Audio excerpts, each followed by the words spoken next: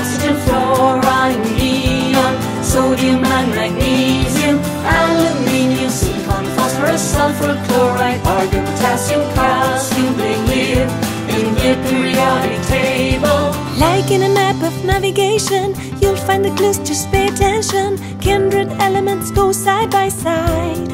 Really? Similar physical chemistry puts the elements into family. Their properties we can now predict. Wow, interesting. Metallic elements on the left Hey. and metallic elements on the right. Hey. In normal climate, the metallic solids are. The non-metallics are liquid or gas. Hydrogen, helium, lithium, beryllium, boron, carbon, nitrogen, oxygen, fluorine, neon, sodium and magnesium, aluminium, silicon, phosphorus,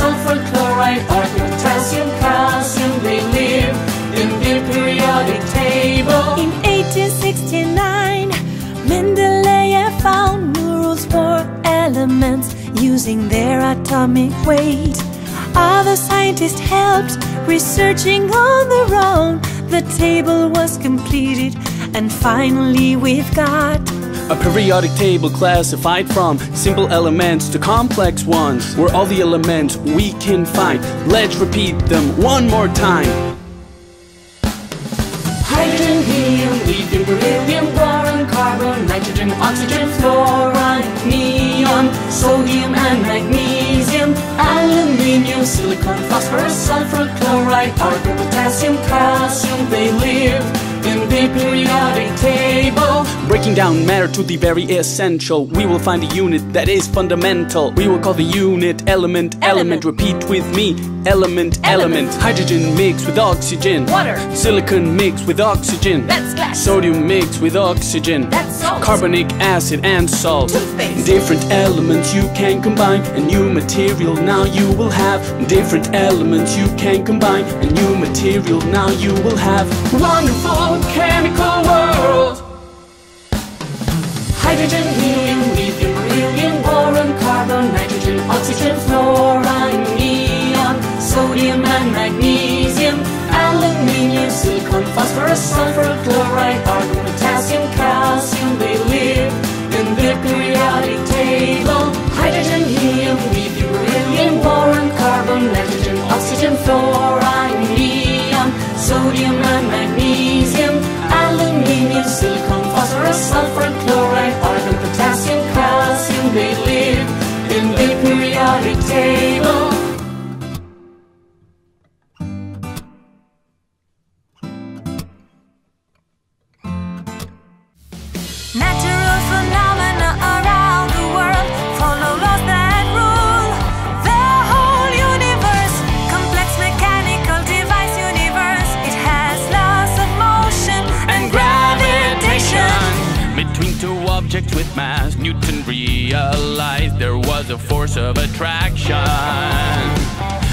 And this Newton said, both here down in the earth and in the space that is out there.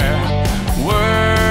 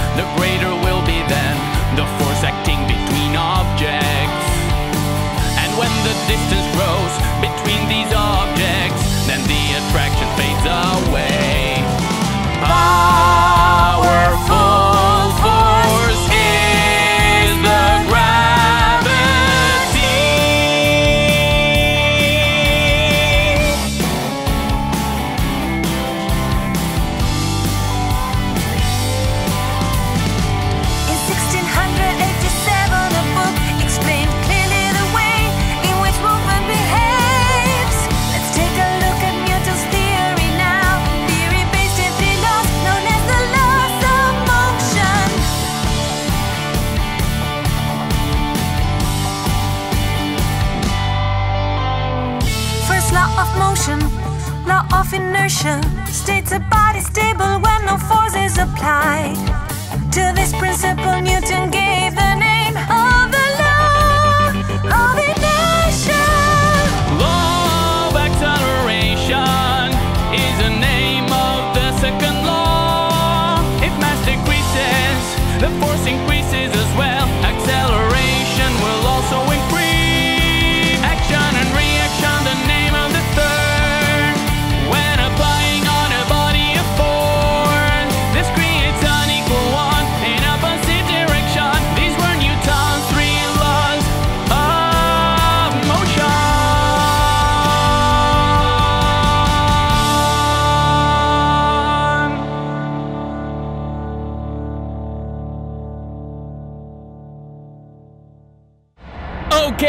Okay, it's showtime! Are you ready?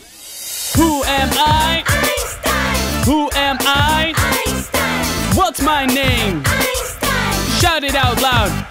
Okay, listen very carefully. Einstein, I'm a space and time specialist. Einstein. I investigated light and was the study of a lifetime. Mathematically, my ideas and discovery were verified finally. How is it? Pay attention, you must understand this. Light is always traveling at constant speed.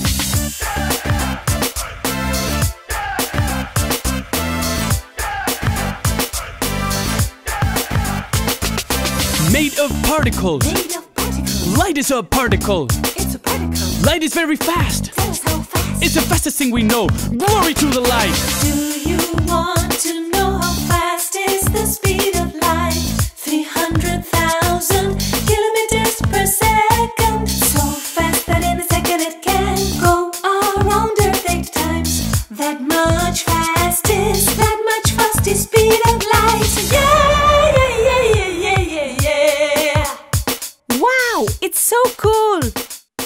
demonstrated that light has similar properties to those on the particles and was awarded with a Physics Nobel Prize in 1922.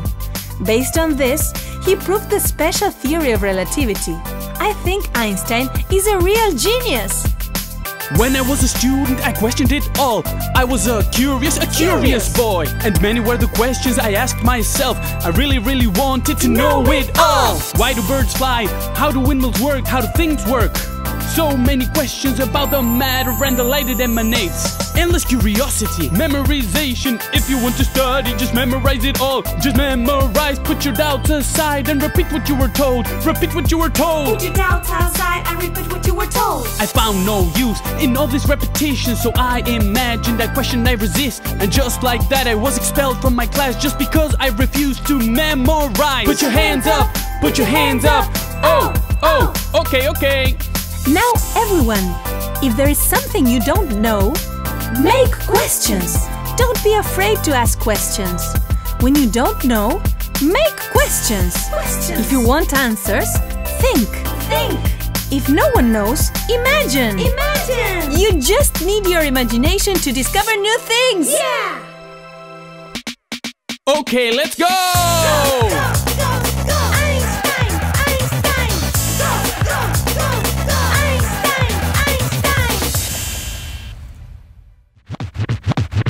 The greatest scientist of the Joseon dynasty was Jang Yeong-sil.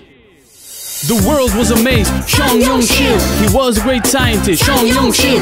Also an inventor. Jang Yeong-sil. A true investigator. Jang Yeong-sil. A great sun clock he designed. The clock's name was Angbuilgu. While the earth is moving, shadows cast. Always depending on where the sun is. Shadow stretching dusk or dawn. And when it's midday, sun is up. A shadow is projected with the tip of a needle, honoring that show date and time to people.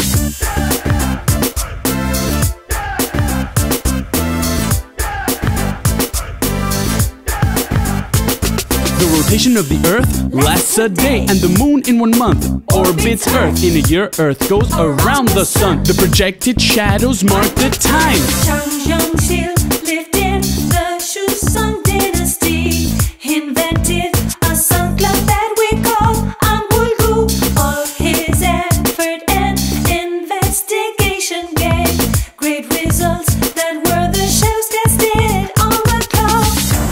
But Jang Yeong-sil still faced a great problem. On rainy or cloudy days, even at nighttime, shadows disappeared and time could not be measured. Time prediction motivated his investigation for at least 10 years. That's how he invented the water clock, the Jeongo. Before that, when the clock was full, a man pounded a drum to announce what time it was. But in Jang Yeong-sil's clock, when the water tank was full, water elevated a wooden stick that let a marble fall. This marble activated a mechanism that moved some dummies to ring the different bells, making everyone who heard it know the time. And wiggle. Sun clock, juggernaut, water clock. I kept inventing and imaginating. Farmers in the crops suffered harsh weathers, floods and droughts. So to make things better, came the first pluviometer. I designed it too in the year 1442. So when it rained, I used this container just to see how much it had rained. The secret is to use the same container, no narrow no wide, tall or short, perfect size. That's how it worked. This is the story of the scientist Jang Yeong-sil. His incredible talent distinguished him. Seasons and time he put together in the sun clock, Angbuilgu, and the automatic water clock that was called Jagyeongnu. Even if it rained all day long, even at nighttime, it still worked. The first pluviometer was his design. Yes, the first one in the world. Put your hands up, put your hands up. Oh, oh, put your hands up, put your hands up, put your hands up. Jang Yong Shil, oh, oh yeah.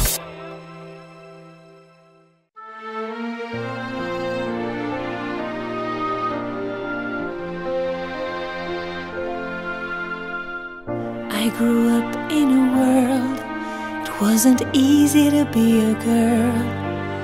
I loved science, and that was in spite of my loneliness at study time. No one could explain the rays emanated by the uranium, so I investigated, and for my great work, a Nobel Prize I won. I traveled to study at Sorbonne, Paris. A scientist there I met, my beloved Pierre Curie. I got a physics degree, and in maths another one. And in time, both of us built a modest science lab. By a mystery, I was moved. Atoms, invisible energy, can be measured, not be seen. I don't know the process here. I call them. Those are disintegrated atoms, an unstable material, and its light is radioactive. That's right. There are light waves with so much energy that are invisible to the human eye. X rays can pass through solid matter and are very useful in medicine to see people's bodies. If there is a long wave, the luminous energy will be red. But if that wave is short, there's more energy, and that light will become blue.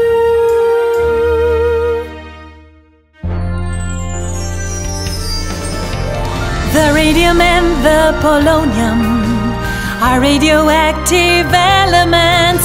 I found them and so I call them like that to reference Poland, my dear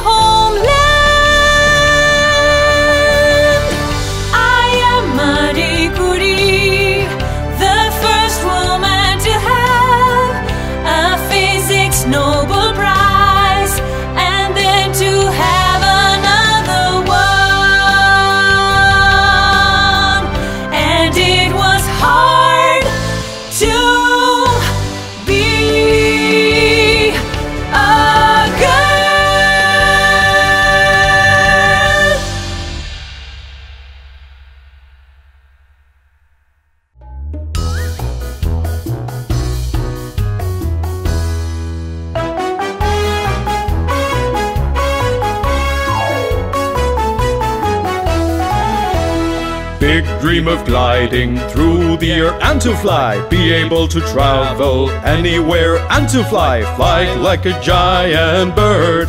That's the objective. Hours of study of birds and their wings to try and to fail, cause copying doesn't go well. We should go on and improve our design, and we'll fly, fly away through the sky. When someone has a dream and a goal, and wants to fly up high, conquer the sky.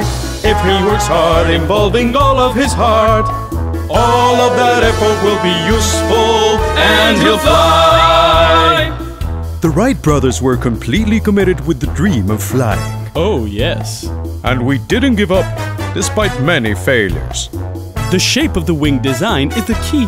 Air flows faster overhead than below, and the pressure decreases. Besides, the higher pressure under the wing creates a force that pushes it upwards, and that makes the plane stay in the air. Big dream of gliding through the air and to fly. Be able to travel anywhere and to fly. Fly like a giant bird. That's the objective. People told us it was useless to try. We never gave up because our dream was to fly. And if your work involves all of your heart, you will fly. You will fly. You will fly. When someone has a dream and a goal and wants to fly up high, conquer the sky. If he works hard, involving all of his heart, all of that effort will be useful and he'll fly. Soaring the sky of your imagination, you'll find out the strength that you need to lift your passion up and to the whole human race. This is our play. Are the best and can take us anywhere. Laughter and laughter as we travel through the air. Humans and all of the things the skies will soar. When someone has a dream and a goal and wants to fly up high, conquer the sky. If he works hard, involving all of his heart, all of that effort will be useful and he'll fly.